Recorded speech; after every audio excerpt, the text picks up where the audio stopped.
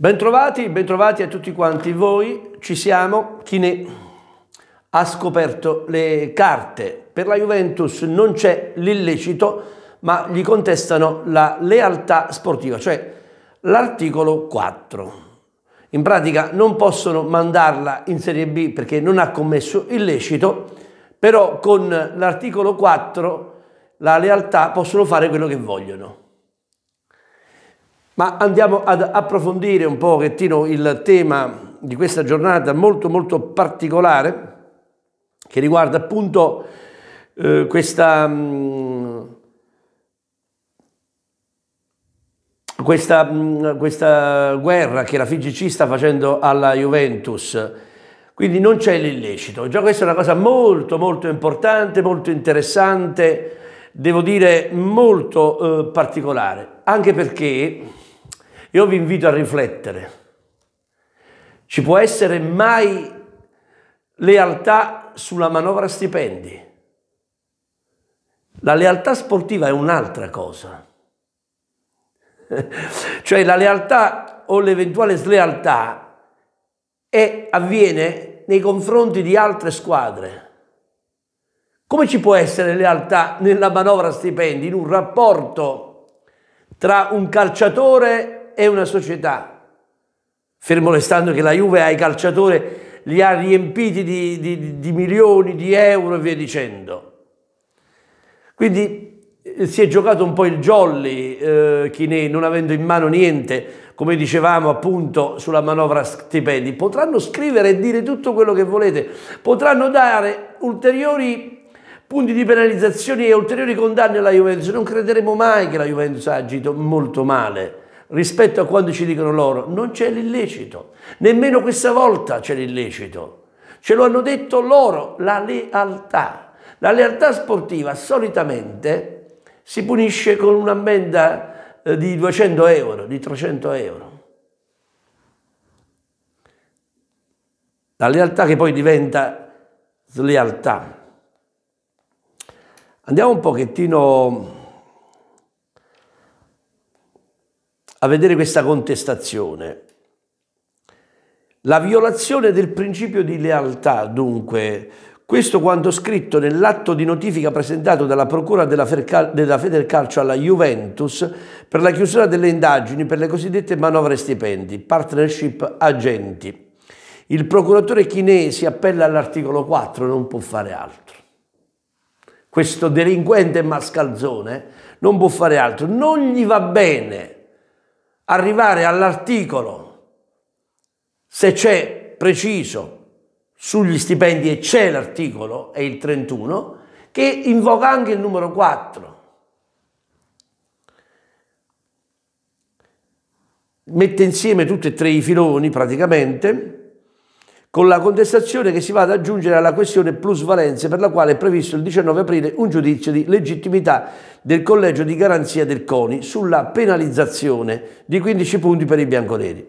Le posizioni degli altri sei club, Sampdoria, Atalanta, Sassuolo, Udinese, Bologna e Cagliari, che hanno trattato, sottoscritto comunque pattuito con la Juventus accordi confidenziali in operazioni di mercato senza provvedere al deposito della mm, modulistica federale e provvedendo a depositare documenti recanti pattuizioni diverse da quelle concluse, saranno valutate a conclusione delle indagini in corso da parte della magistratura. Questo che cosa significa? Significa innanzitutto che la Juventus viene giudicata rispetto al 24 ottobre, cioè alle conclusioni delle indagini del 24 ottobre. Quella slealtà già l'ha pagata con i 15 punti di penalizzazione. Poi hanno aperto altre inchieste le altre procure, perché i faldoni sono passati appunto dalla procura di Torino alle altre procure e quindi poi ci saranno le richieste per gli altri club. La Juventus per la lealtà sportiva, lo dice l'avvocato del Napoli, Chiacchio, ha già preso 15 punti di penalizzazione. Allora che cosa stanno vedendo? Qui l'imbroglio, questi delinquenti. Stanno praticamente vedendo se alla Juventus toglieranno o meno i punti il prossimo 19 di aprile. Per cui, se toglieranno i punti alla Juventus, faranno una richiesta perché dice non ha pagato per, le, eh, per la realtà sportiva. Se invece confermeranno i 15 punti, come io credo, che questi si sono messi in testa di voler colpire la Juve, secondo il principio della continuità nella legislazione, nella, legisla, nella eh, diciamo, nel diritto, non ci può essere una pena superiore alla, a, a quella dei 15 punti, altrimenti si va al TAR. Perché bisogna agire in punta di diritto. Ma lo dice l'avvocato del Napoli, non lo dice Sergio Vessicchio. Quindi stanno cercando di imbrogliare, stanno cercando ancora di giustificare loro, il loro assenso e poi vediamo perché proprio oggi, perché proprio oggi è uscita la declaratoria di Chinè. Andiamo avanti per un attimo.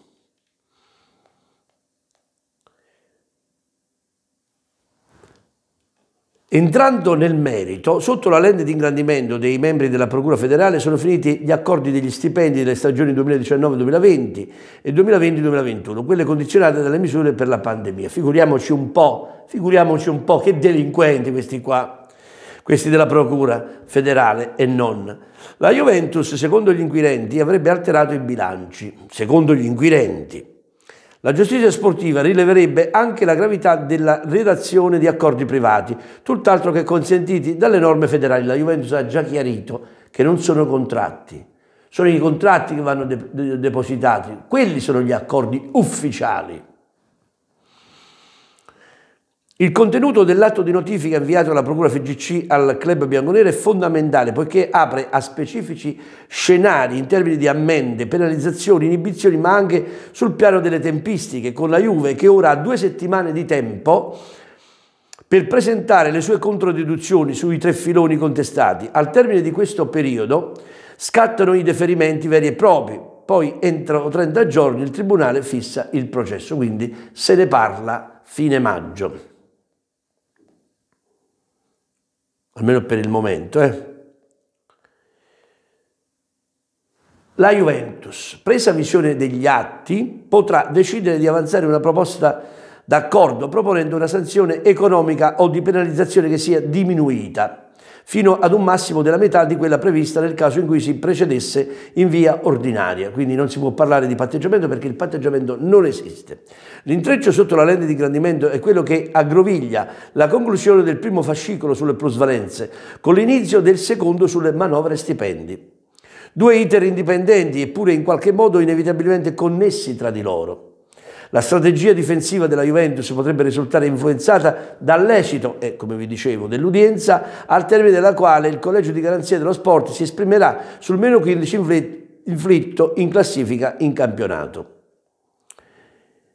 E allora vediamo quali sono gli scenari che si possono aprire. Addirittura adesso, eh, quasi quasi, per come la pongono, uno deve sperare che i 15 punti non, non glieli tolgono, addirittura. Un conto è pensare ad un patteggiamento da seconda forza del campionato alle spalle del Napoli, quindi se tolgono i 15 punti, ma non c'è il patteggiamento. Il patteggiamento è, è un accordo che si trova, non è un'ammissione di colpa alle spalle del NAM. Un altro è cercare una quadra di concerto con la Procura federale in seguito a una conferma del meno 15 sentenziato dalla Corte federale d'appello. È un discorso simile ma opposto nella logica potrebbe far breccia anche tra i pensieri del procuratore Giuseppe Chinè al momento di avanzare la richiesta di eventuali sanzioni sul fronte manovre e stipendi. Il tutto naturalmente con la Serie A arrivata ormai al rettilineo finale. Il caos a cavallo tra aprile e maggio è più certo che probabile.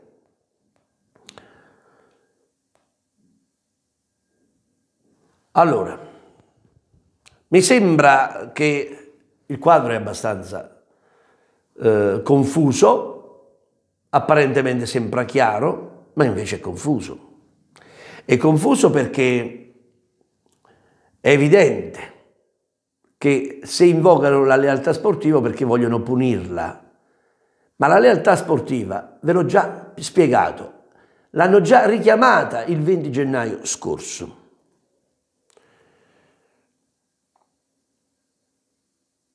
La lealtà sportiva è una cosa molto seria, ma non deve essere un grimaldello per fare eh, come gli pare ai giudici, non deve servire, dice, con la regola 4, con l'articolo 4, noi facciamo, penalizziamo ad capociam la Juventus o chi per essa. Devono motivare, si deve motivare. Ecco perché i 15 punti dati e non motivati la volta scorsa pendono seriamente sul giudizio della Corte d'Appello federale, scusatemi, del, eh, del CONI appunto.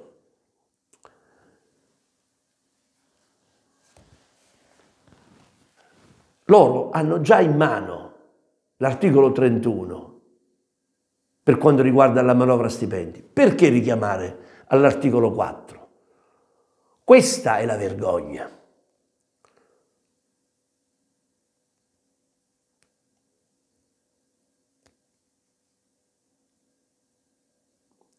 La slealtà, la slealtà, la vediamo ogni giorno, ma non viene punita.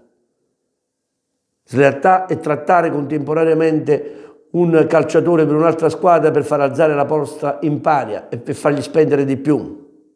È sleale sfruttare tutte le malizie in campo per perdere tempo? È sleale cercare di influenzare l'arbitro con continue proteste durante tutta la partita? E ancora di più, non è sleale fare battaglie mediatiche contro questo o l'altro proprio prima di una partita importante? Non è sleale ma legale dilazionare i debiti verso l'erario in 30 anni in modo diverso dagli altri club? Non è sleale avere la proprietà di club satelliti dove fare giochi contabili ad uso e consumo ad entrambe le squadre? Questo non è sleale? E allora mo la Juventus richiamano la slealtà sportiva, ma poi con gli stipendi. Cioè con gli stipendi. Proprio la slealtà non può essere tirata in ballo, perché non c'è nessun tipo di slealtà nei confronti di un avversario. C'è un articolo 31 che disciplina la, la manovra stipendi, ma proprio la lealtà e la slealtà nella manovra stipendi non può venire fuori. Fermo restando che la Juve, ve l'ho detto già, nella manovra stipendi ha già pagato e ha pagato moltissimo. E c'è un aspetto molto molto particolare. Mi sono dovuto documentare prima di dirvi le cose come stanno. Ehm, allora, poi ritorniamo a parlare della, della manovra stipendi e dell'articolo 31.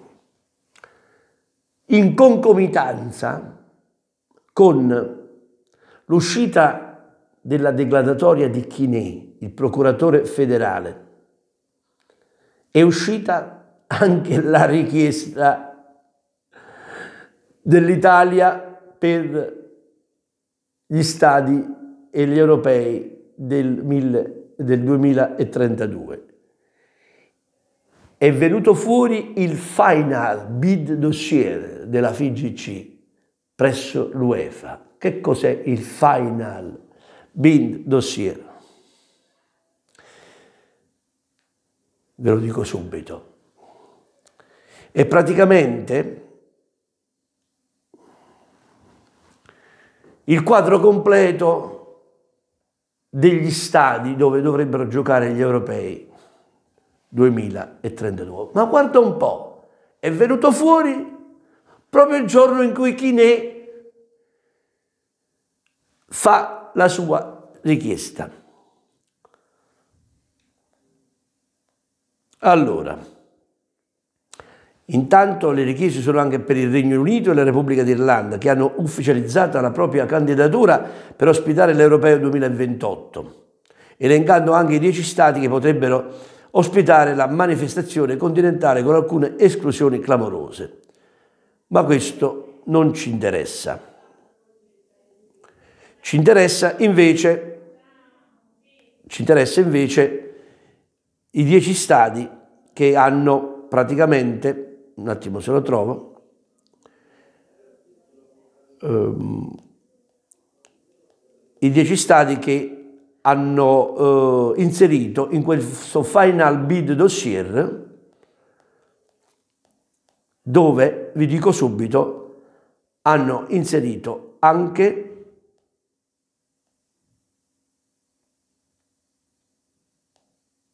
lo stadio di Torino.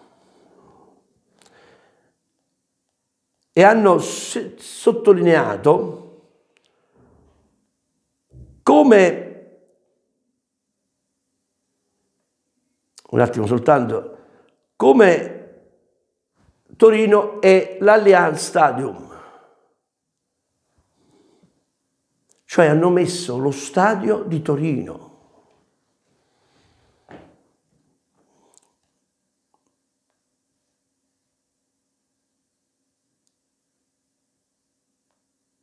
Cose incredibili, cose incredibili.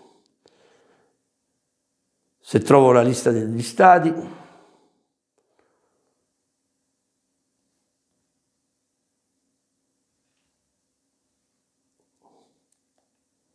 eh.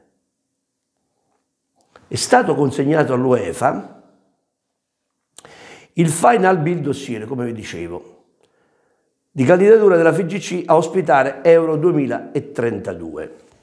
Dopo mesi di lavoro coordinato che ha visto scendere in campo accanto alla federazione il governo, il Parlamento, i comuni e tutti gli altri stakeholder, la documentazione richiesta è ora nelle mani dell'UEFA. Nei prossimi mesi, attesa la valutazione da parte del massimo organismo calcistico europeo che durante il comitato esecutivo in programma il prossimo 10 ottobre, renderà nota la sede degli europei del 2028 e del 2032. L'altra federazione ad aver presentato il dossier di candidatura per questa ultima edizione è quella turca.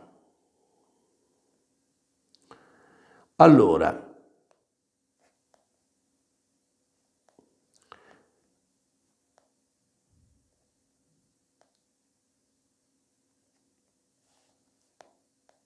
vediamo, gli stadi. Milano tra San Siro e la variabile nuovo stadio, Torino, state bene a sentire come c'è scritto nel, nel dossier, Juventus Stadium, denominazione mantenuto in ambito UEFA. Poi Verona, stadio Marcantonio Bentegodi, Genova, stadio Luigi Ferraris, Bologna, stadio Renato Dallara, Firenze, stadio Artemio Franchi, lo devono fare, con i soldi dell'UEFA appunto. Roma, Stadio Olimpico, Napoli, Stadio Diego Armando Maradona, Bari, Stadio San Nicola e Cagliari, nuovo Stadio Sant'Elia. La città di Palermo continuerà a essere coinvolta nell'iter a supporto della candidatura, il dossier di candidatura dell'Italia per l'organizzazione UEFA Euro 2032. È ispirato ad un nuovo rinascimento ed è stato realizzato attraverso continue connessioni con i territori, da un lato esaltandone le bellezze storiche e artistiche, dall'altro rispettandone l'impatto e la sostenibilità lo ha dichiarato il presidente della FIGC Gabriele Gravina. Allora, sono praticamente totalmente usciti allo scoperto. Intanto, secondo me, a Torino, nello stadio di proprietà della Juventus, non si devono fare gli europei. Come la vedo io, eh? Attenzione.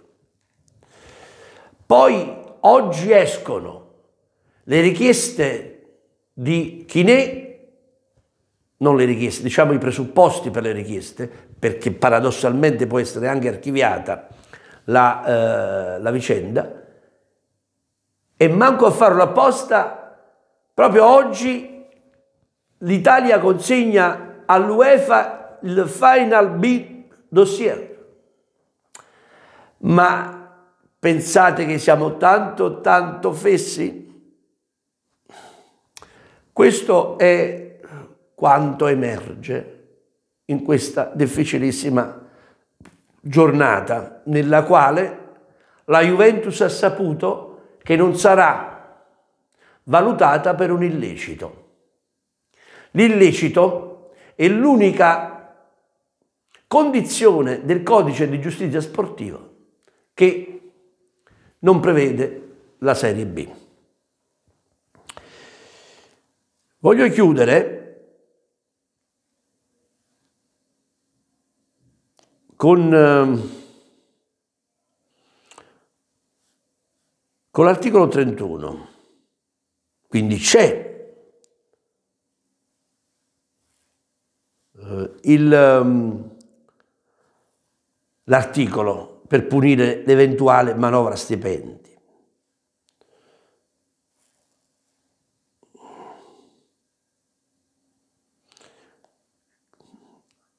La Procura della Federcalcio appunto notificato questo pomeriggio alla Juventus la chiusura dell'indagine per le cosiddette manovre stipendi, partnership e agenti.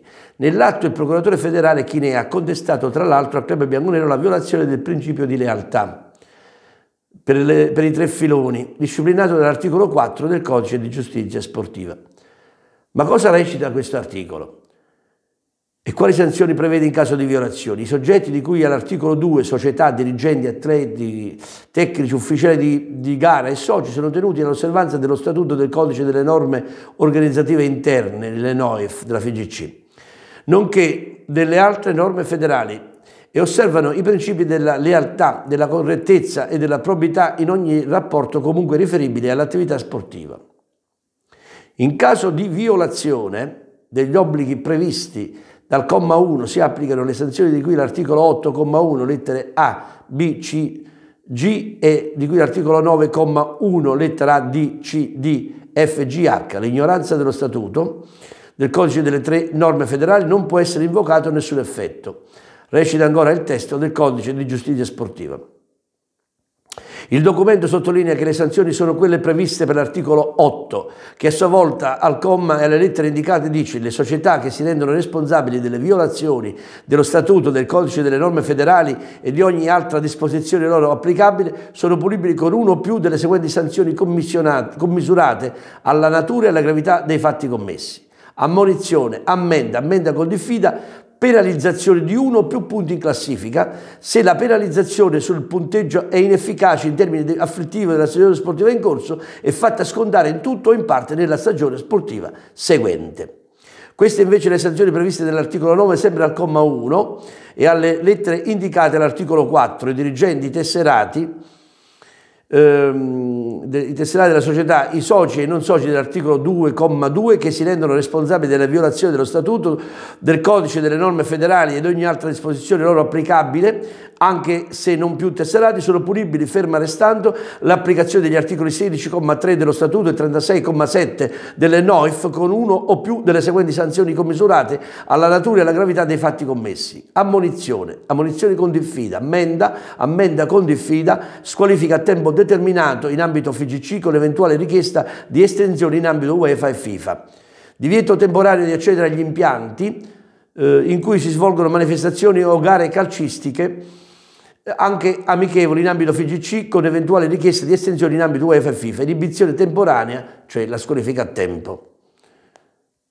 Questo, come potete vedere e come potete notare, da quello che abbiamo oggi, la Juventus non rischia la Serie B. Non c'è l'illecito, c'è l'afflittività della pena, se la Juventus eh, viene condannata, la pena deve essere afflittiva, se vince lo scudetto glielo tolgono, se, vince, se, le, eh, se entra nelle coppe europee la tengono fuori. Se non è nelle coppe europee, la squalifica viene scontata il prossimo anno. Cioè praticamente la tengono sempre sotto penalizzazione. Queste sono per il momento le, le, eh, le notizie.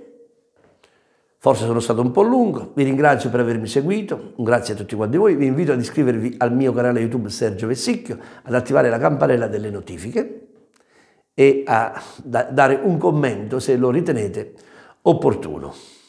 Alla prossima.